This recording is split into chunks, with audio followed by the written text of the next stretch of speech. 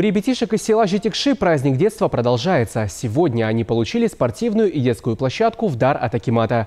Подробности, эмоции и впечатления в следующем материале.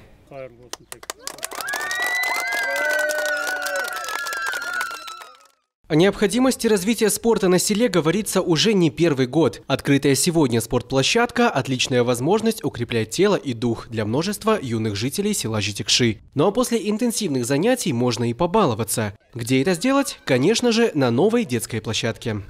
Была установлена детская площадка э, на сумму 7,5 миллионов и стрип-воркаунт э, на 4 миллиона.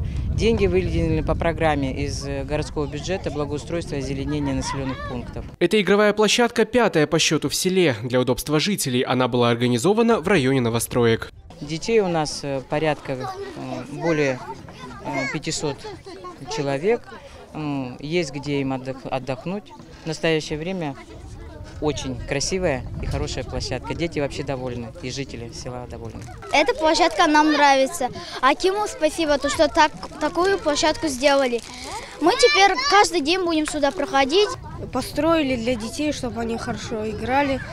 Не, далеко не шли. Для новостройки это хорошо, далеко не ходят, играют возле дома. И родители не беспокоятся за детей.